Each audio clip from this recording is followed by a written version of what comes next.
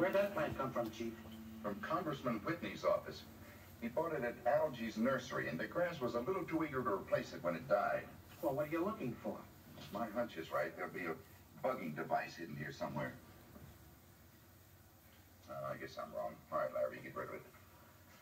Larry, look! Don't worry, Chief. I'll clean it up. Well, I'm not talking about that. You found a microphone. I did?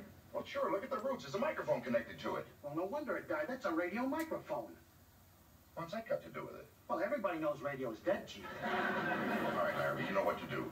Yes, but I don't think that's going to do any good, Chief. You don't? No. You sure about that? I'm positive about it.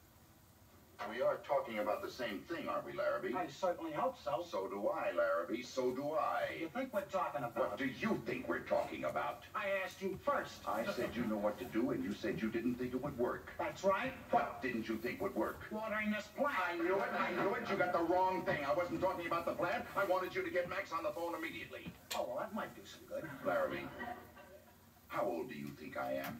About 63, 64. I thought so. Why, how old are you? I'm 42. You look it. You look 63. Get out, Larabee.